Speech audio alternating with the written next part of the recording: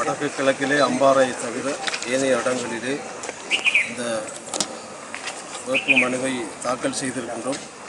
அந்த வகையிலே வன்னி மாவட்டத்திலே நாங்கள் இப்பொழுது தாக்கல் செய்திருக்கிறோம் இந்த எங்களுடைய தமிழ் தேசிய கூட்டமைப்பு நிச்சயமாக மக்களுடைய ஆதரவோடு இன்றைக்கு இருந்து கொண்டிருக்கின்ற ஒரு அமைப்பாக இருக்கின்ற காரணத்தால் இன்றைய காலகட்டம் மிக பிரதானமான காலகட்டம் என்ற ரீதியிலே இனப்பிரச்சினை தீர்வதற்கான வாய்ப்பை பெறுவதற்கும் எங்களுடைய சிறையிலே வாடுகின்ற எங்களுடைய சொந்த நிலங்களிலே எங்களுடைய மக்களை குடியேற்றுகின்ற இராணுவத்தை வெளியேற்றுகின்ற இன்னும் கடல் எங்களுடைய வயல் நிலங்கள் காணாமல் போனவர்கள் எங்களுடைய பெண் தலைமைத்துவத்தை கொண்டவர்களின் வாழ்வாதார பிரச்சனையை இவை அத்தனையும் முக்கியமான ஒரு காலகட்டத்திலே நாங்கள் இருந்து கொண்டிருக்கின்றோம். அதை ஒன்றெடுக்கின்ற ஒரு தேர்தலாக இந்த தேர்தல் அமைந்திருக்கிறது.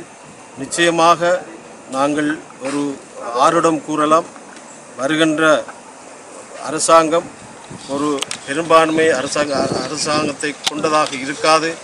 தமிழ் தேசிய கூட்டமைப்பு தான் இந்த அரசாங்கத்தை நடத்துகின்ற நடத்த விடுகின்ற சக்தியாக இருக்கும்.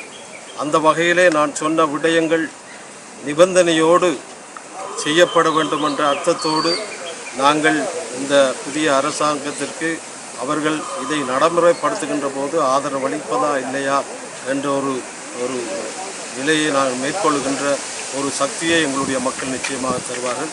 ஆகவே தமிழ் தேசிய கூட்டமைப்பு தான் இந்த இனப்பிரச்சினை தீர்வுக்கும் எங்களுடைய மக்களின் விடுதலைக்கும் சிறையிலே வாடுகின்ற இளைஞர்கள் யுவதிகளுக்கும் இப்படியான ஒட்டுமொத்த விடுதலை ஒட்டுமொத்தமாக தமிழ் எங்களுடைய மக்களின் வாழ்க்கை என்பதை பெற்றுக் கொடுக்கின்ற ஒரு சக்தியாக நிச்சயமாக எங்களுடைய மக்கள் எங்களுக்கு ஆணையை தருவார்கள் அதன் பிரகாரம் நாங்கள் செயல்பட தயாராக நாங்கள் இந்த நிபந்தனையோடு அரசுக்கு இவ்வளவு இந்த விடயங்களை பேச்சுவார்த்தை துவங்கு துவங்குகின்ற அந்த விடயங்களிலே அரசு சம்மதிக்கின்ற போது அதை நடைமுறைப்படுத்துகின்ற போது நிபந்தனையோடு நாங்கள் ஆதரவளிக்கின்ற ஒரு சக்தி சக்தியாக நாங்கள் இருக்கிறோம்.